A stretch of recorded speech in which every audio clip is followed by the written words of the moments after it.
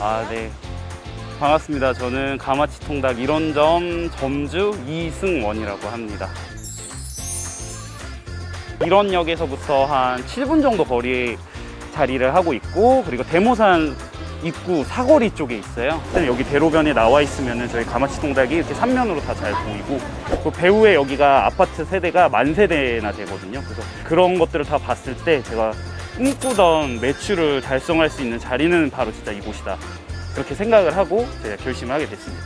창업이요. 어, 아무래도 요새 경제가 많이 어렵잖아요. 물가는 계속 오르고 월급은 그대로고 앞으로 이제 살아감에 있어서 뭐 저가 집 한 채 사는 것도 어려운 상황이기도 하다 보니까 창업을 해서 열심히 해서 열심히 돈을 많이 벌어보자. 성실하게 한번 살아보자 라는 생각에 네, 창업을 결심하게 됐습니다.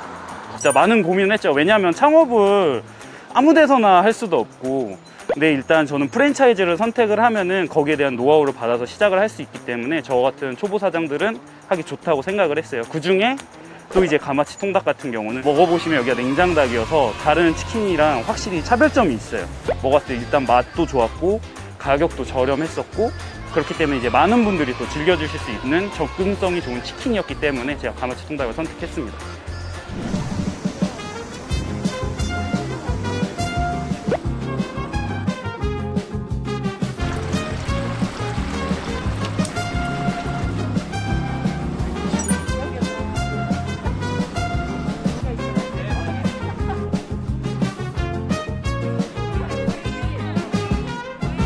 이제 잘 무사히 오픈이 잘 돼서 뭐 그래서 이렇게 또 어제만 해도 저희 매출이 한 470 정도가 나왔는데 잘 나와서 되게 감격스럽죠. 되게 감사하고 네.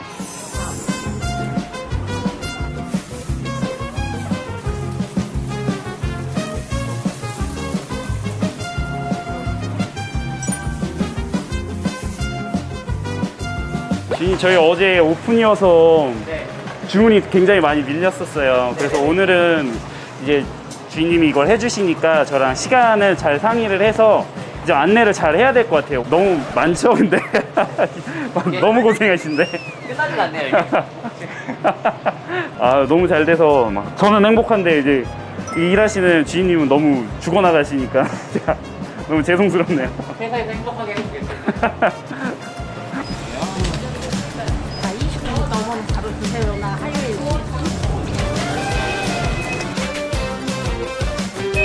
네 감사합니다. 가마시통닭 이런점입니다.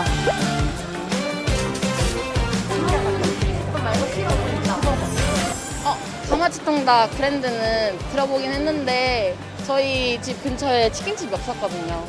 그래서 생겨서 너무 좋은데 어제 또 시켜 먹었는데 너무 맛있어 또 왔어 오늘 사러. 이 동네에 새로 생겼다고 해가지고 한번 먹어보려고 왔습니다. 이번에 먹어보고 맛있으면은 앞으로도 종종 이용할 생각입니다. 네, 가마치 통닭 이런 점 많이 사랑해 주시고요. 저희 가마치 통닭도 많은 관심과 사랑 부탁드리겠습니다. 감사합니다. 화이팅!